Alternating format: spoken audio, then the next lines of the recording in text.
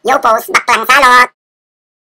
Hoy, ikaw, Jejimon, katigilan mo akes. Kung wititit mo, bet makrom palang bonggang-bongga sa pes. At akala mes, ikinaganda mes, ang iyong jumbrero. Anong akala mo sa sarili mo? Rainbow? At wititit-wititit-wititit mo akong susyulakan na ang mga beki salot sa lipunan. Kung ayaw mong jumuwi ng hubadubaran, suot mong damit, sapatos, hanggang brief mong totong, designer niyan, bonggang beki mon. Basta, masamang maging bakla. Masamang maging bakla. Ano namang walay sa pagiging bakla at girlilet? Kesa naman katulad mong pinagsusulit-sulit ang numberet at nyolpabet. Masikat naman ako sa'yo. Ako po mas nauna sa'yo.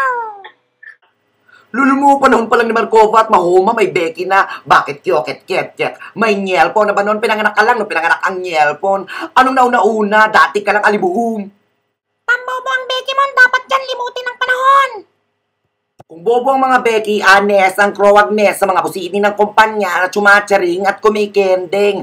Jejimon, Jejimon, mag-supply ka ng work, ano, tingnan ko lang sa HR, ang mag-interview sa Yes, bading rin na kumikending. Bongga na kami saan man kami makarating. Hanggang Pilipinas ka lang, wag mo kong chinacharing. Mga Becky sa Asia, Malaysia, Las Vegas, New York, may Becky mong bonggang-bongga ang work. Try mong gumawa ng Jejimon na passport, tingnan ko lang kung hindi ka ma-airport to airport. Bet mo man, o wititit, laganap na kami. Parlor, call center, mall, palengke, opisina, munisipyo, school, restaurant, simbahan man. Wititit ka na sumagot, ang dami ko ng inispluk, waka na masabi, naubos na siguro sinasamantala mong anli.